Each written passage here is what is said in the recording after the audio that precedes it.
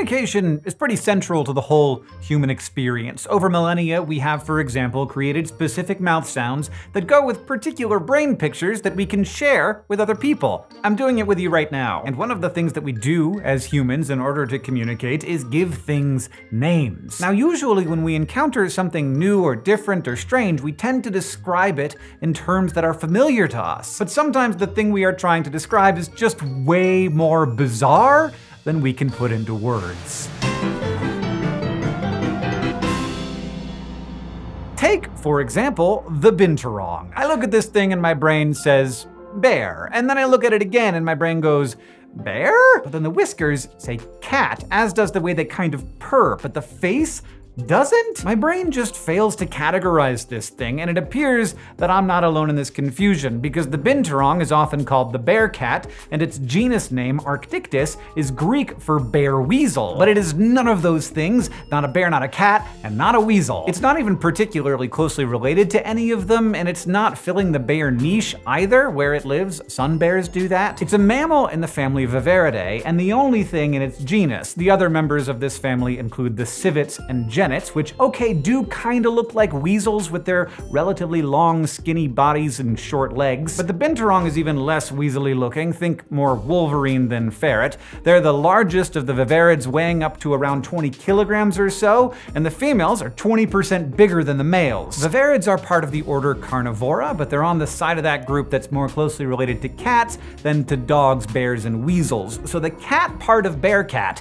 was the most correct part, but also still still a big miss. You can find viverrids throughout Africa, in South and Southeast Asia, and in parts of Southern Europe. The binturong, though, is only native to the forests of Southeast Asia, where they spend most of their time in the trees. So picture this. You're walking through the jungle and you catch a whiff of hot buttered popcorn. That doesn't seem right. Hot buttered popcorn is for movie nights, not for jungle walks. Who is making popcorn in the jungle? No one, because you didn't just smell popcorn, you smelled binturong. Or more specifically, You've just smelled their pee. Binturong urine naturally contains a compound called 2-acetyl-1-pyrroline, or 2-AP, that is also produced in popcorn when it undergoes the Maillard reaction at high temperatures. The Maillard reaction is a chemical reaction that takes place between certain sugars and amino acids during cooking. It's what makes both a toasted marshmallow and a grilled steak brown and delicious. And that 2-AP is probably responsible for the binturong scent. So I have not eaten buttered popcorn for 15 years because of my chronically diseased colon.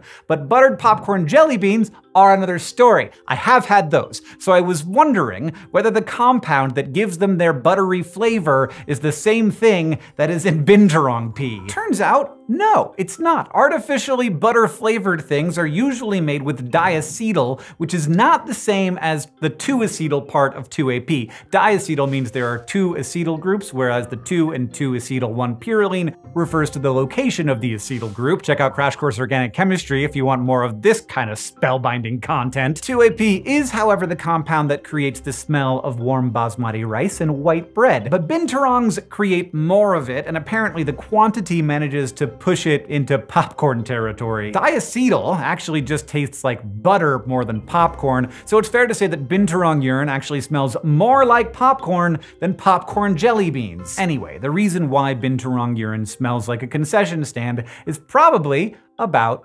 communication. There, we got back around to it in the end, didn't we? Binturongs are solitary, so they use scent marking to leave signals behind for other binturongs. They do have scent glands, but their pee is really what gives them that delightful popcorn smell. Basically, they pee on their feet and their tails, and then they go about their business climbing slowly through the forest canopy with the help of their prehensile tails, leaving their stinky little messages behind. By the way, out of the 270 species of carnivora, there are only two with prehensile tails, the binturong and the kinkajou, and those two species are not related at all. And that popcorn scent lasts, as the scientists who did the pee study learned when their frozen urine shipment was delayed in transit and arrived as not frozen urine. While both male and female binturongs produce 2AP, males seem to have more of it in their pee than females, so it probably contributes to letting other binturongs know the sex and reproductive status of an individual, which is kind of important for a lonely binturong to know. But how the binturong makes 2AP is still a mystery. They definitely don't run hot enough for the Maillard reaction to be happening like inside of their bodies, and the researchers studying their pee can't find any significant amount of 2AP in their food either. So they think that it's most likely a normal product of fermentation made by microbes that live in the binturong's gut. And what those gut microbes are breaking down varies. While binturongs are part of the order Carnivora, most of their diet is actually made up of fruit, especially figs. They're willing to eat pretty much anything they find though, bugs, rodents, eggs, you name it. All of that fruit eating makes them important seed dispersers for the forests they live in. As they move through their habitat, they poop out the seeds of the fruits that they eat in different places, helping the forest replant itself. These non-bear cat weasels with their popcorn-smelling pee and adorably confusing looks definitely qualify as bizarre beasts, and while our brains and words may have failed at communicating what they really are, the binturong's method of getting their message across seems to be working out just fine.